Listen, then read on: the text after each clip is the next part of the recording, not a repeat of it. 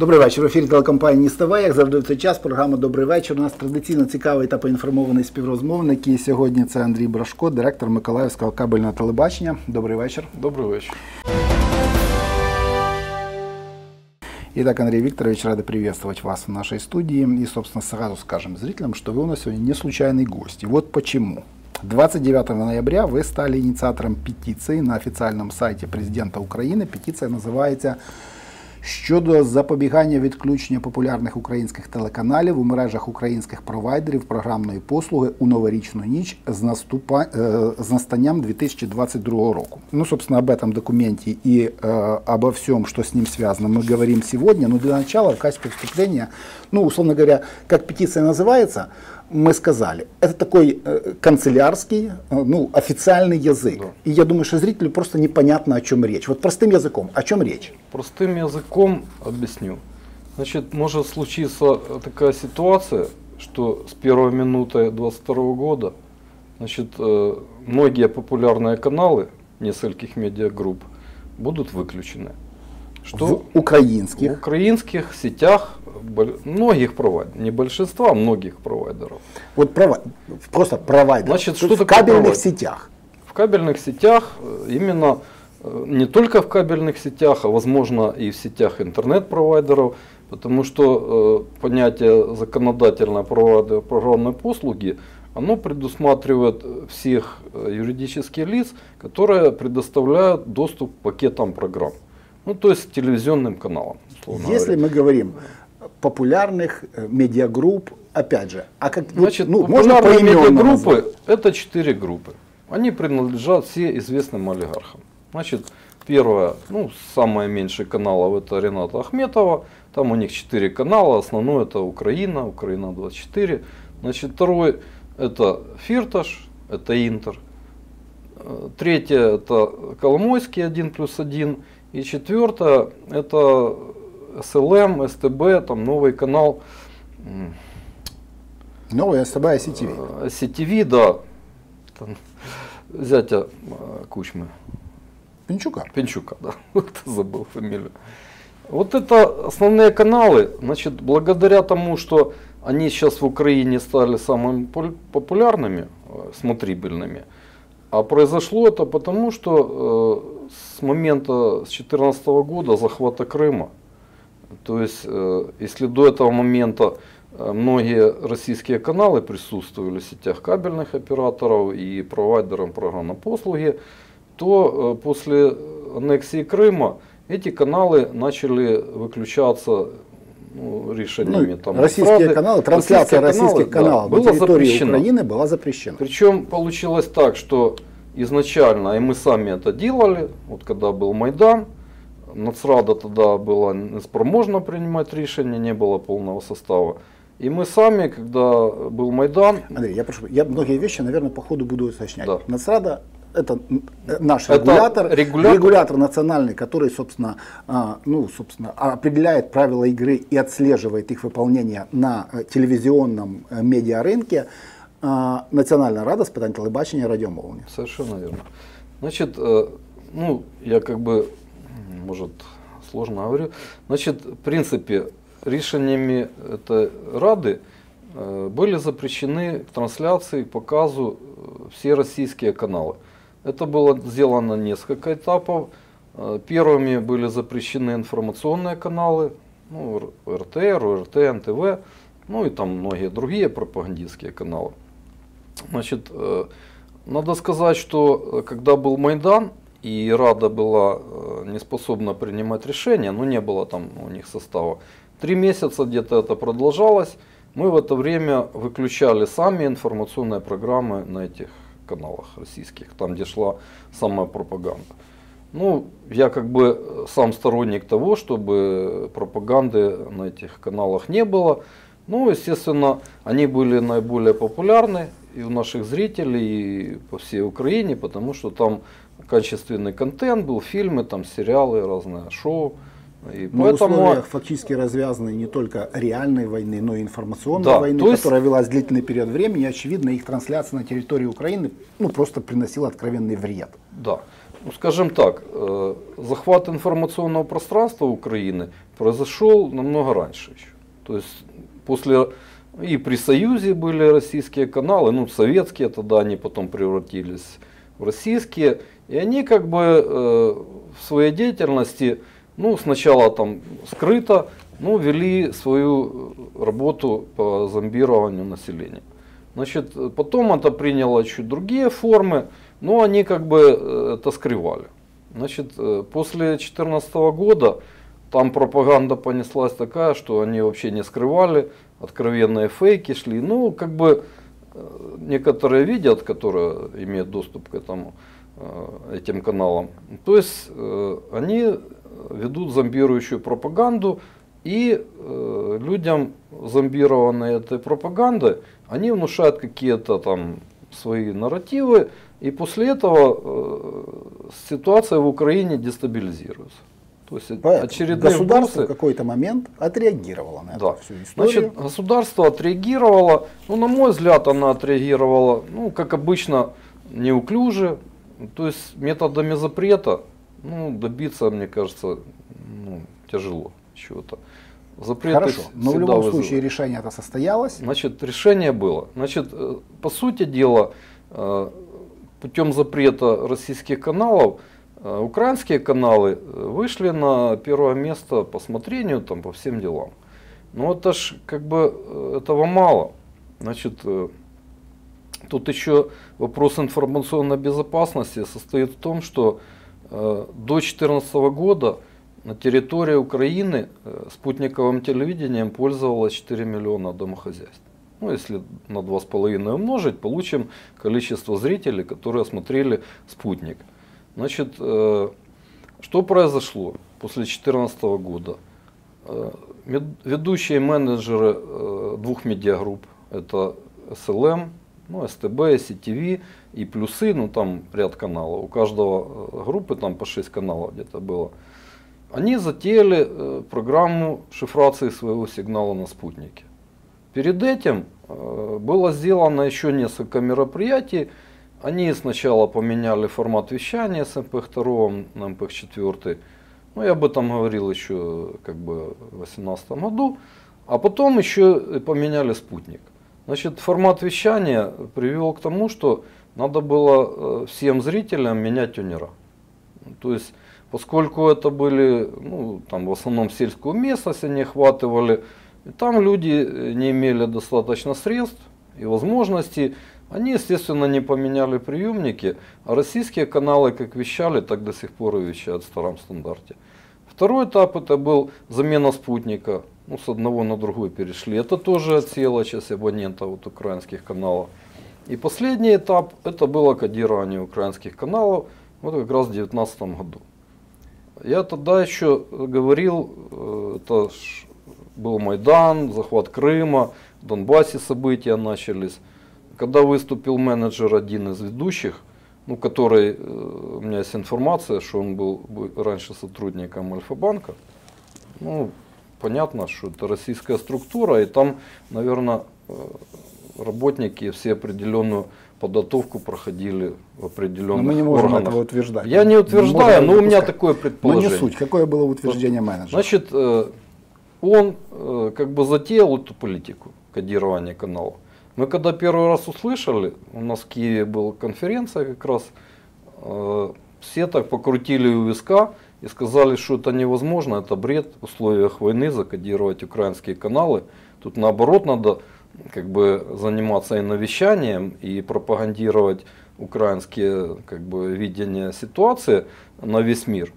Но произошло по-другому. То есть эта программа была принята, и она закончилась, как раз вот реализовалась э, в конце 2019 года.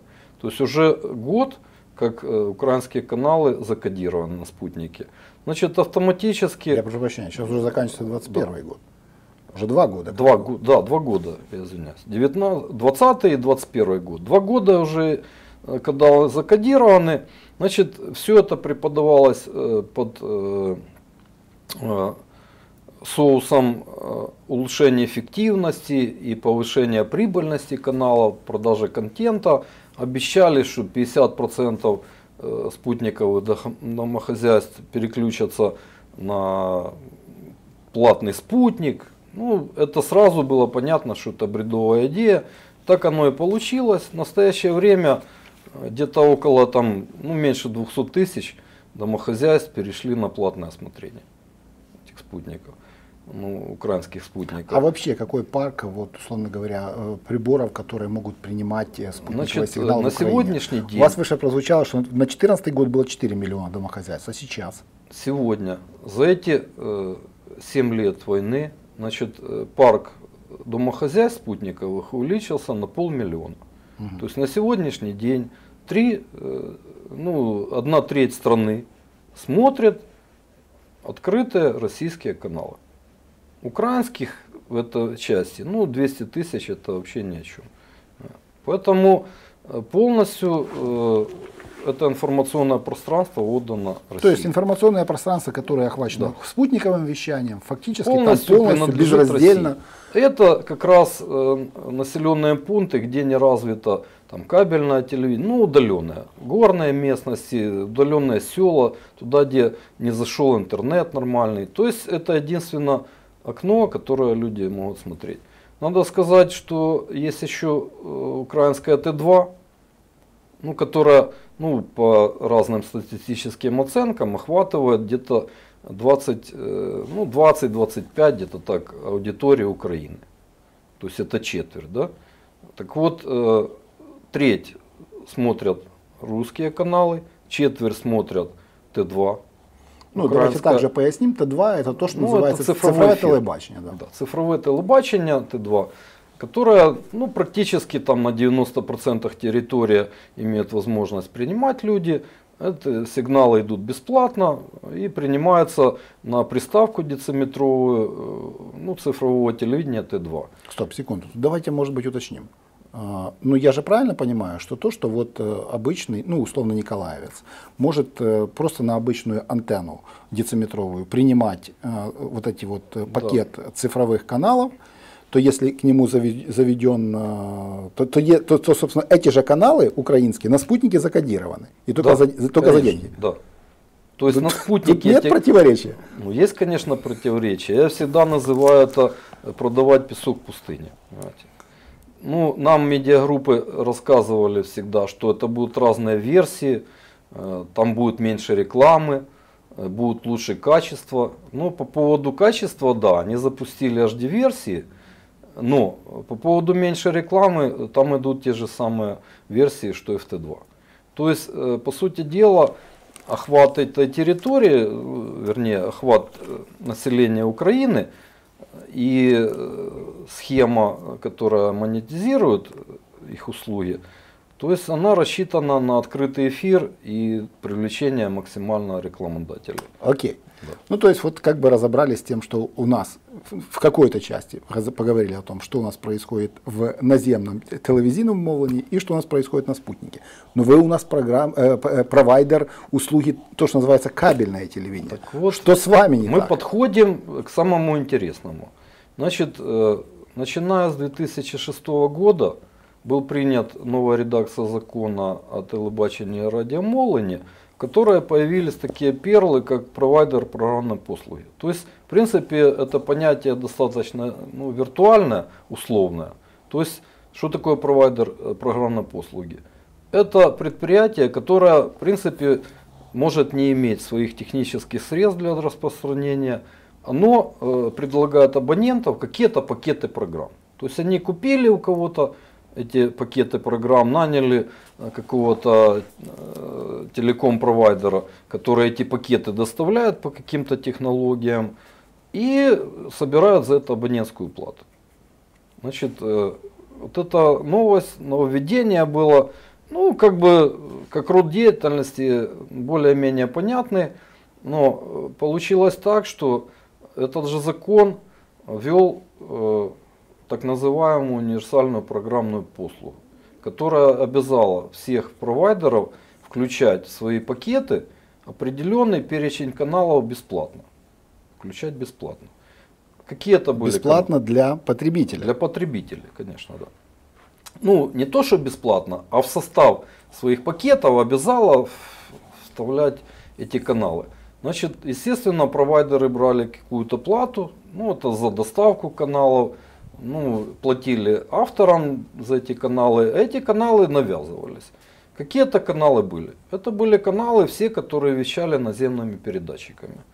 На то время еще были аналоговые передатчики, туда входили государственные каналы, суспильные каналы и каналы, которые вещались коммерческие всеми наземными передатчиками. Значит, э, каналы медиагрупп на то время, они были самыми представленными, если э, брать э, в то время Самые мощные были это Интер, у них были метровые волны, самые мощные передатчики и покрытие было там практически стопроцентно территории Украины. Вторая это была группа э, Интера, у них тоже были часть самых мощных, Интера, 1 плюс 1. Часть каналов была э, дециметровых передатчиков, ну и потом СТБ появились, Украина, потом Ахметовская. Просто, э, скажем так, у Интера было, ну, вернее сейчас в группе, у них 6 каналов, 8 э, каналов. У СТБ и Плюсов по 6 каналов, и у Украины 4 канала. Вот это состав групп. То есть они занимают сейчас Т2 э, в этом цифровом эфире из 32 каналов, ну посчитайте, ну больше половины то есть где-то две трети занимают канала. И за счет того, что обязали нас э, их показывать бесплатно, но они таким образом завоевали себе достаточно большую аудиторию, а каналы, которые вещали только на спутник, естественно, они вынуждены были какими-то другими способами попадать. Мы заключали с ними договора на доставку, ну, ретрансляцию их сигналов. И каналы, которые были интересными, мы как бы э, бесплатно их транслировали, каналы, которые там содержали много рекламы, там новостные, нам даже платили определенные деньги за доставку. Значит, э, при этом значит, э, эфирный вещатель Zinwood, который на Т2 вещает на сегодняшний день, он тоже имеет лицензию программной, провайдера программной послуги. И получилось так, что медиагруппы платили им за распространение в эфире в открытом. И эти каналы были доступны бесплатно, и сейчас доступны бесплатно. А с других провайдеров, проводных, там, кабельных провайдеров, провайдеров интернета, которые тоже предоставляли услуги программной послуги, они брали деньги. Якобы за свои коммерческие каналы. Ну, поэтому вот тяжело объяснить людям, э, как можно брать деньги за то, что бесплатно идет в эфире, да? Ну, то есть, условно говоря, один и тот же сигнал. Вот да. он вышел, там, условно, вышел. Ну, они говорят, что другой. Ну, ну, другой, ну, да. ну контент тот, же тот же. Контент тот же. Плюс-минус там количество рекламы, но да. тот же контент. Тот же контент. На спутнике, чтобы я его посмотрел, я должен заплатить да. за это. В эфире я то же самое могу посмотреть да. бесплатно. Бесплатно. А чтобы я посмотрел это же, этот же канал, этот же контент у вас в кабельном телевидении, вы должны им заплатить. Я должен заплатить, да, как провайдер. Но я должен эти деньги собрать со своих абонентов. То есть, по сути дела, это налог на телевизор. Хотя мы строили сети уже больше 30 лет, и они работали как бы в режиме коллективной антенны. Значит, что произошло в 2005 году? Это как бы Э, туда внесли некоторые пункты, которые сработали вот сейчас. Мы об этом говорили еще тогда, в то время еще на стадии принятия закона. Этот закон, который должен регулировать э, сферу эфирного телевидения, ну вообще телевидения в Украине, он почему-то э, туда попали такие пункты, которые запретили использовать телекоммуникационные сети – которые регулируются совсем другим законом о телекоммуникациях, они почему-то э, поставили такие несколько пунктов, я их гвозди называю, которые запретили использовать э, сети телеком-провайдеров для нужд коллективного приема. Это были какие сети? Ну, э, на мой взгляд, как инженера, они вообще не имеют никакой почвы ни с точки зрения здравого смысла, ни с точки зрения техники. Значит, там такой был основной перл, что система коллективного приема, она не может быть в пределах больше одного домостроения. То есть система коллективного приема ограничивается одним домостроением. Значит, это с точки зрения техники бред, потому что даже если взять советские ГОСТы, там крупные системы коллективного приема, просто системы коллективного приема, там ни слова не говорится о масштабах ее. То есть, возможно, есть система на несколько домов, есть на целый город, есть на целую страну. Так же, как может быть э, большой дом и не одна система коллективного приема. Может быть спутникового отдельно, эфирного канала. Хорошо, почему это важно? Вот двумя словами, а, понятными зрителю. Почему, почему вот, это вот, важно? вот эта вот оговорка еще 2005 что, года э, важна сейчас? Потому что в купе с другими еще гвоздями все телеком-провайдеры не имели права распространять э, сигналы, ну, любые сигналы открытых, кодированных каналах в своей сети. Потому что э, из разряда э, систем коллективного приема технических средств, они переходили в разряд вещателей. А поскольку они перешли в разряд вещателей, поэтому тут уже вступал в силу другой закон э, про авторские смежные права, и, соответственно, э, таким образом э, манипуляциями в закон то есть подвели все. Ну, то есть фактически вам поменяли статус. Нас поменяли статус. И, да. соответственно, другое законодательство начало распространяться, в том числе и на, на, нас, на кабельные сети. Да, из нас делали из технических средств приема вещатели. Понимаете?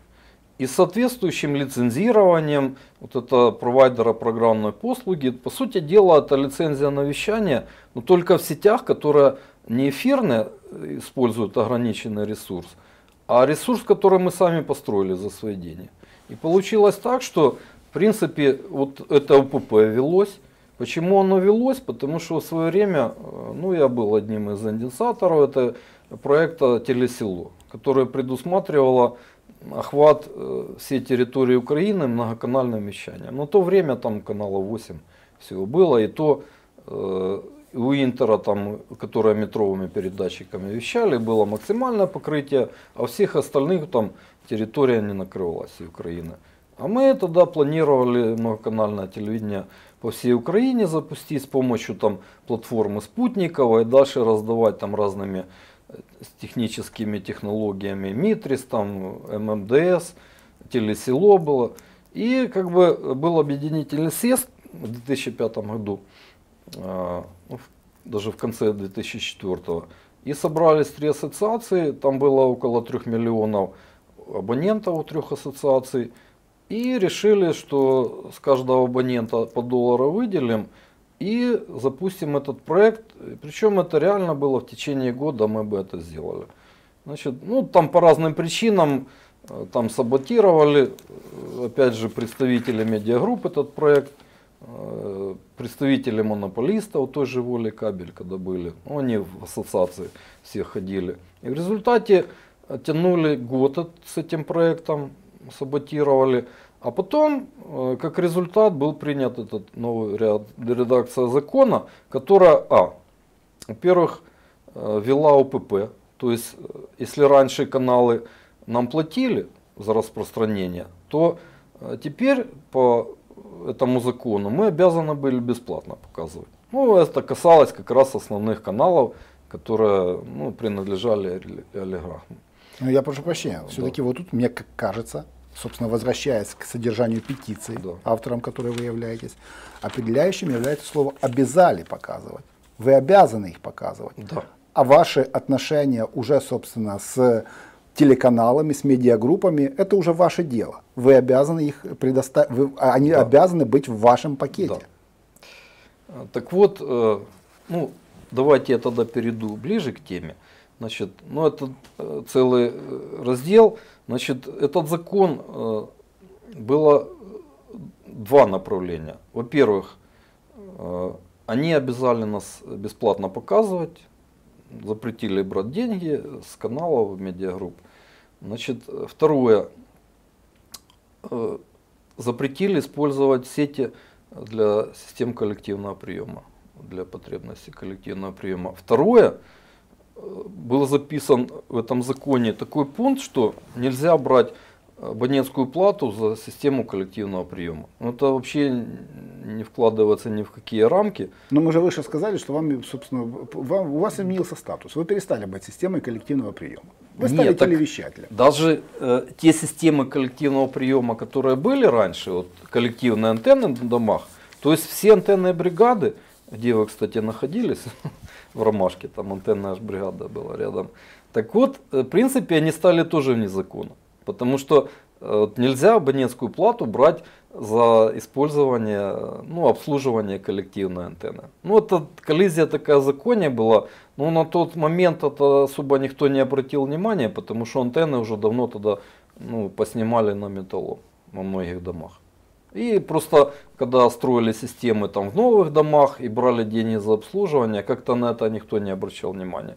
Но обратили внимание на то, что провайдерам нельзя использовать э, свои сети для ну, приема коллективного сигнала Хорошо. спутников. И вот, шли-шли, как говорится, Значит, и пришли к Пришли. сегодняшнему дню. Значит, заставили нас показывать бесплатно. 15 лет мы показывали бесплатно эти все каналы медиагрупп.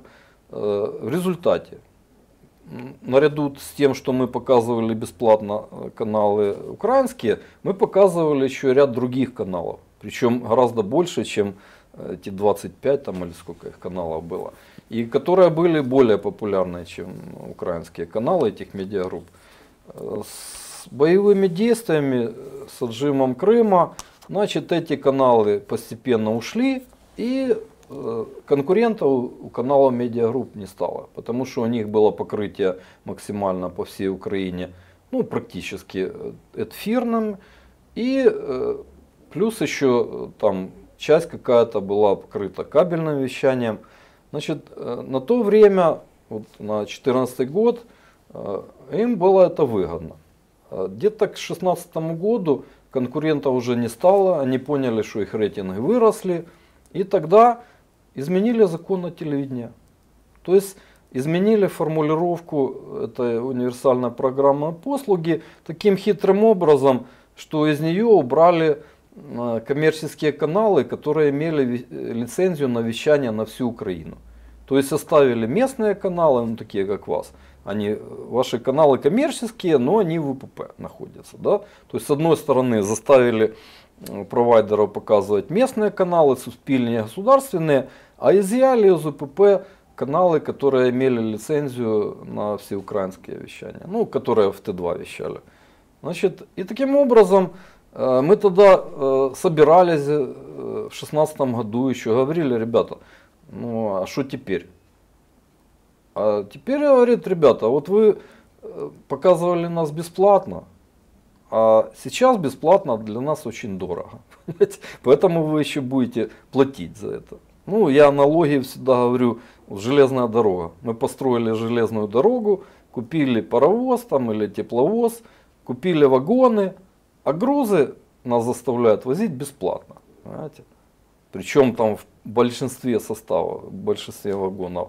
А потом какое-то время прошло и сказали, знаете, ребята, а что-то дорого бесплатно для нас. Давайте вы еще будете доплачивать. Возить наши грузы по своей дороге еще будете доплачивать. То есть ситуация точно такая же получилась.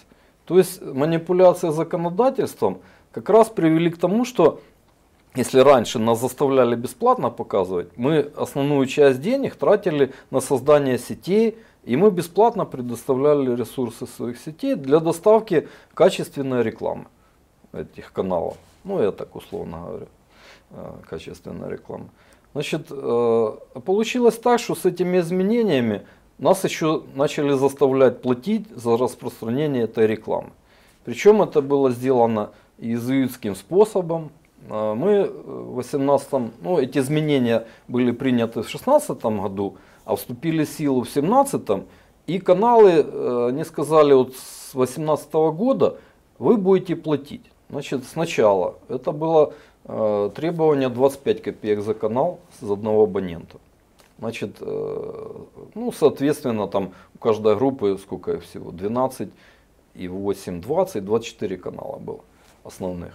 Значит, э, это была сумма, ну, незначительная, скажем так, по 25 копеек за 24 канала, это там 6 гривен, да.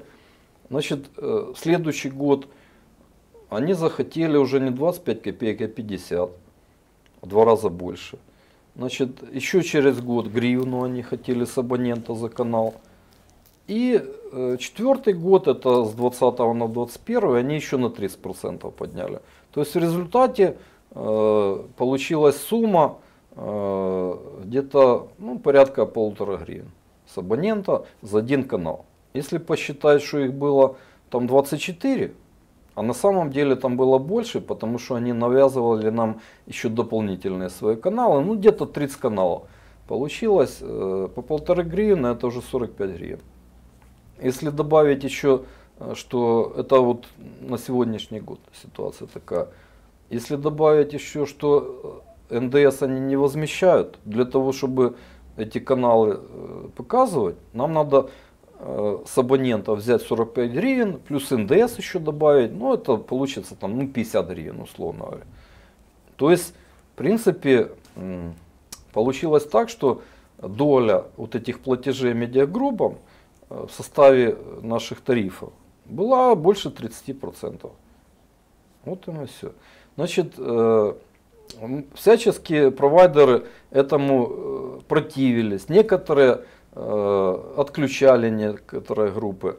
Значит, состоялся... И возникало, очевидно, непонимание уже у непосредственно у Людям тяжело объяснить, почему какие-то каналы пропали. Да? Вот объяснить людям, что мы берем деньги там треть тарифа или даже больше до половины, это за каналы, которые бесплатно идут рядом да, в эфире Т2, ну практически невозможно. Ну, нормальный человек не воспринимает. Это паранойя, разрыв шаблона, то есть тяжело объяснить ну, ну да, вот людей. у меня кабельное, я здесь да. смотрю. А вот и, и, и я же плачу за это кабельное. Да. А вот я зашел к соседу, у него просто стоит эм, да. антенна Он смотрит то же самое, да. Тоже смотрит, да. как же так, да, вот. Просто, как ну, это понимаете, это как прийти... Хорошо, как надо, ну, на самом деле, вот вы, вы же говорите не просто от своего имени, вы представляете Значит, отрасль. Э, как реагировала отрасль? Значит, Было ли, ну, условно говоря, вот вся, вся вот эта путаница, ну, была какая-то реакция? Изначально, изначально 2018 году э, был э, собран, э, подписан меморандум. Там ну, в Киеве там около 30 провайдеров собрались там на Крещатике, в конференц-зале, подписали меморандум, что они платить медиагруппам не будут. Инициатором выступила Воля Кабель.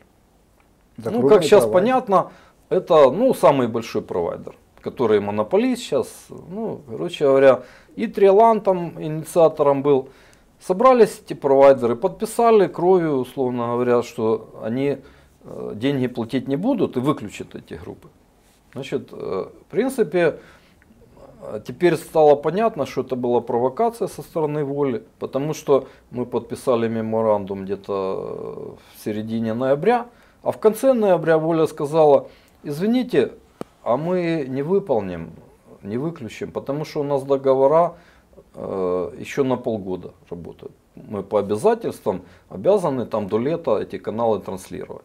То есть под этим э, соусом они э, спрыгнули с этого меморандума. Вторым отказался Триолан. Значит, остальные провайдеры, которые не поняли, что это ну, как бы подстава, они выключили каналы. Значит, в 2018 году Э, те провайдеры, которые выключили, они потеряли до 30% базы, потому что воля Триолан и провайдеры, которые э, не выключили каналы, просто абоненты перешли к ним, ну не понимая, что происходит. Да, у тех есть, а у этих нету, ну поэтому так потеряли. И после этого медиагруппы поняли, что можно так разводить людей. Они между собой договорились. То есть монопольный сговор вступили. И дальше они подписывали договора с провайдерами, которые сразу не подписали со всеми группами одновременно договора. То есть, ну я, допустим, как подписывал договора, мы договорились о каких-то условиях, там, ну, условно говоря, вот это повышение там два раза каждый год. Они собирали подписанные договора, между собой спрашивали, такой-то провайдер подписал со всеми, и тогда подписывали, возвращали назад эти договора. И мы продолжали платить им, а те, кто э, как бы э, противился их воле, Они просто отзывали договора одновременно у всех или там несколько групп. Естественно, провайдер э, терял ну, рейтинговые каналы, и абоненты его переходили на какие-то другие технологии. Значит, ну это продолжалось до этого года. Значит, сейчас договорная кампания. И ситуация сложилась так, ну, во-первых, ковид, там война идет, экономическая ситуация, ну, достаточно плохая. У людей нет денег. Значит, э, у нас проблема не платежей, отток абонентов идет. Вообще на фоне общего как бы, кризиса жанра телевидение вообще стает не очень популярным. Молодежь э, вообще не смотрит телевизор, ну традиционный телевизор. Э, старшее поколение умирают, уходят, люди уезжают. Ну то есть мы постоянно теряем абонентскую базу. Ну, не буду говорить процент, но значительно каждый год. А медиагруппы каждый год они поднимают. Сначала в два раза. Причем этот отток абонентов идет еще потому, что как бы они хотят смотреть и русские каналы или что-то другое, или дорого им. Переходят на Т2, переходят на смотрение в интернете, там Ютуба и прочих каналов, которые тоже доступны. И, кстати, по информационной безопасности, э, то где-то половина абонентов интернета наши смотрят тоже русские каналы. То есть на сегодняшний день две трети населения страны смотрят русские каналы. То есть активно их зомбируют, это российская пропаганда. Ну, э, короче говоря, мы теряем абонентов, особенно традиционные кабельные провайдеры, которые используют аналоговую технологию и цифровую, но открытую технологию. Не имеют возможности, во-первых, отключить дистанционно абонента, как это есть у IPTV-шных провайдеров, OTT-шных, ну, цифровых провайдеров. Э, эта технология позволяет отключить абонента удаленно, дистанционно при отсутствии оплаты. Ну, как мобильной связи. Есть деньги, есть э, разговор, нету денег, нету разговора. Также и в интернете. Если есть деньги на счету, есть связь, ну также. А вот э, провайдеры, которые используют IPTV технологию, у них, во-первых, и себестоимость доставки гораздо ниже, ну, на порядок, чем у традиционных, как у нас кабельщиков, которые аналог используют и все. Плюс э, себестоимость растет из-за того, чтобы э, взимать абонентскую плату. Почему? Да. Только сейчас появляется петиция на сайте президента. Значит, э, в просто... которой четко сказано, что э, какая-то часть популярных украинских каналов исчезнет из сетей ну, грубо из кабельных сетей. Значит, 1 января почему это в этом году так э, получилось? Потому что к этому шло все уже несколько лет, и как бы медиагруппы э, настолько уже свои тиски сжали, что учитывая другие экономические обстоятельства, локдауны и прочие дела, в этом году большинство провайдеров уже э, в убытке живут. То есть мы собираем деньги с абонентов и отдаем их все медиагруппам, причем даже себе не остается ничего, мы уже в убытке работаем. Есть долги у нас там 2-3 месяца мы не можем расплатиться с медиагруппами. Потому что э, как бы и зарплату надо платить, и налоги платить. Вот такая ситуация. Поддерживать сети. Да, поддерживать сети. И многие провайдеры уже начали вот в прошлом году выключать некоторые группы, чтобы снизить финансовую нагрузку. Ну, есть пару групп, которые идут на уступки какие-то. Ну, можно даже сказать, что это Украина, Интер, да. А вот э, плюсы с СТБ, они, во-первых, самые энергозатратные для нас, да, по деньгам. И у них больше всего каналов, и, соответственно, ресурсы у нас используются больше. И по деньгам получается, что доля их платежей им наиболее большая. Поэтому Многие провайдеры выключают одну-две группы, кто сколько может. Крайний случай это был э, в мае месяце киевский Ланет, который выключил вообще все каналы, всех медиагрупп. Он потерял при этом там около 40% абонентской базы, но как бы выжил и ничего страшного нет. Я разговаривал с хозяином его, Витя Мазур. Он говорит, ну да, было первый раз, э, первое время тяжело, пришлось нанимать людей, чтобы отключать физические абонентов. Он отказался от лицензии, Ну, у него там в нескольких городах сети есть, там по ну, в многих городах Украины. А сейчас, говорит, месяц назад, уже отключили всех, выходим в нули и будем к концу года уже в прибылях. Я у него спросил в присутствии там, представителей там, одной из медиагрупп, говорю, а какие условия, чтобы ты включил их назад? Он говорит, вообще не хочу их включать, не хочу с ними никаких дел иметь, поэтому как бы так получилось. А 50 тысяч пенсионеров остались без канала. Так вот такое может произойти как бы и в новогоднюю ночь, потому что э, выбора не остается. Ну, то есть, то есть условно говоря, э, поздравления и, президента увидим да, и... Да, значит, э, может такое быть. Поэтому я, э, и, кстати, такая ситуация у многих провайдеров, с кем я не говорю. Просто все боятся почему-то медиагрупп, ну, достаточно большое влияние финансовое, все боятся потерять, у кого-то там конкуренты есть какие-то более сильные, там Воля Кабель, Триолан и прочее, особенно в столице это дело, конкуренция очень сильная. Если говорить за наш город, то конкуренция у нас сейчас больше идет, э, ну, не буду называть фирму, все ее, наверное, знают, которая э, всю жизнь свою, она давала телевидение бесплатно. Или по демпингам ценам в последнее время. То есть для них себестоимость гораздо ниже э, телевизионных э, каналов. Почему? Потому что они на, не на всю базу свою, допустим, интернет-абонентов дают, а там на 20, там, от силы там, 25%. И поэтому финансовая нагрузка для них не такая большая. И учитывая... Хорошо. Вот может кто-то сейчас нас сидит, слушает да. и, и, и скажет, не, ну подождите, вот условно говоря, там свою хозяйственную деятельность вы выносите вот на это обсуждение, ну так, ну такие, собственно, и что? Тут не финансовая деятельность. Тут вопрос в том, что у нас осталась э, большая часть абонентов, которые пользуются аналоговой технологией нашей. Это люди как бы уже в возрасте, пенсионеры, и которые э, даже по определению э, не умеют пользоваться новыми цифровыми технологиями. Для них вот это наше аналоговое телевидение, это единственное окно в мир остается. Денег нет уже ни на еду, ни на все остальное, и поэтому они сидят, смотрят телевизор. Вот э, те, кто мог из пенсионеров, и у них там были родители, дети там были, купили им приставки эти Т2, либо тарелки, что часто э, очень получается, они смотрят.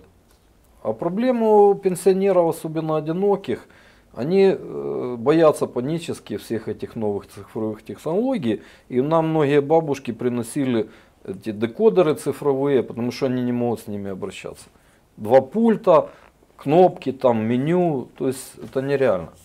Это нереально для, для многих из них. Поэтому вот э, я почему обратился, потому что с одной стороны э, информационная безопасность страны, вот эти бабушки, это вызовет возмущение. Нет, ну мы выше людей. говорили, что человек, который теряет вот здесь вот привычную услугу, да. он ищет альтернативу. Альтернативу он, среди прочего, находит на спутнике, где он не будет платить за, а, за получение украинского контента, но бесплатно получает Тут российский. Даже не в том. Те, которые могли, это уже давно сделали. За 4 года они уже давно ушли, тарелки себе поставили или приставку цифровую. У нас половина базы это пенсионеры, которые не могут это сделать.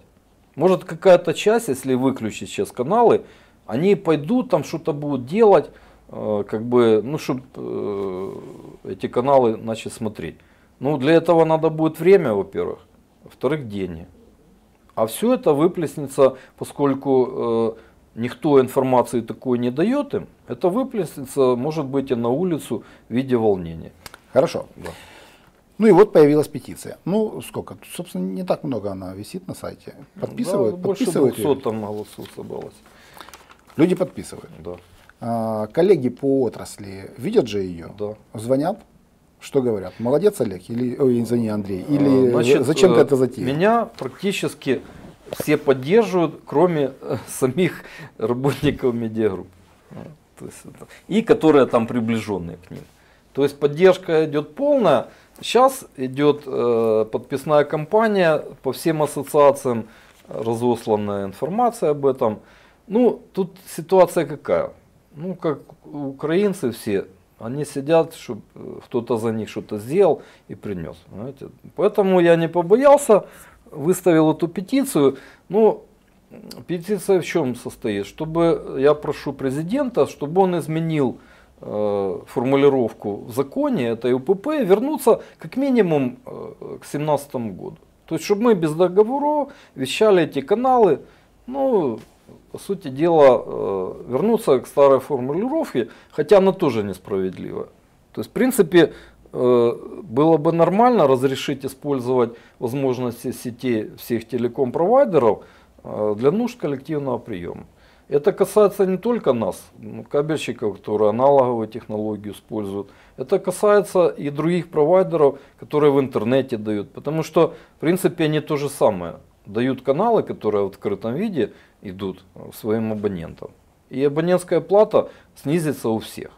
То есть этот Хорошо. налог... Ну я не знаю, идет. Э, вот э, петиция, ну я не хочу сказать, что это такое как бы, ну, последняя надежда, что ли, но, но, но где-то оно на это похоже. Но есть же действительно национальные регуляторы, есть же структуры, которые ну, по, по, по роду своей деятельности обязаны там, думать об информационной безопасности, о доступности украинского, отечественного контента с, с украинской, собственно, информацией для нас, потребителей. Ну, есть, есть какие-то обращения, есть какая-то реакция. Значит, э, параллельно с размещением этой петиции я направил письма значит, президенту лично, ну, параллельно с петицией. Значит, РНБУ СБУ, Національну раду з питань телебачення радіомовлення, нашому омбудсмену украинского языка Кремню, нашему земляку. Э, и больше делал упор на то, что, во-первых, информационное пространство Украины как бы захватывает Россия уже давно причем, и никто с этим не борется. Да?